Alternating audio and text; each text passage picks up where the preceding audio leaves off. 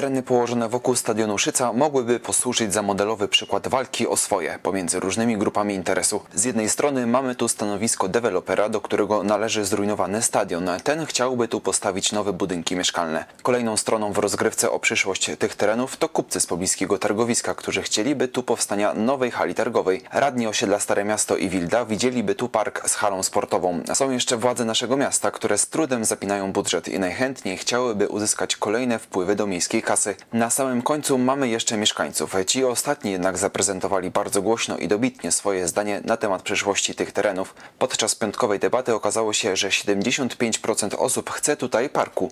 Dodatkowo 21% widziałoby tu park z obiektem sportowym. Argumenty dewelopera o możliwości postawienia tu nowych bloków przekonały tylko 2% mieszkańców. Podobnie uczestnicy odnieśli się do planów budowy tutaj nowoczesnej hali targowej. Trzygodzinna debata z udziałem władz miejskich, Stowarzyszenia My Poznaniacy, radnych i losowo wybranych mieszkańców naszego miasta i wynik nie przesądza jak na razie o ostatecznym rozwiązaniu kwestii terenów położonych wokół stadionu Szyca. I choć prezydent Grobelny zapowiedział, że tak silny głos mieszkańców na pewno zostanie wzięty pod uwagę, to jeszcze pozostaje kwestia funduszy. Szacowany koszt budowy parku wyniósłby około 25 milionów złotych, a takich pieniędzy miasto jak na razie nie ma.